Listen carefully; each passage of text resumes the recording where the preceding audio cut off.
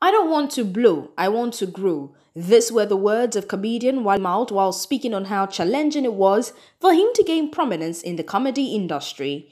According to him, he worked hard to get to the level he currently is.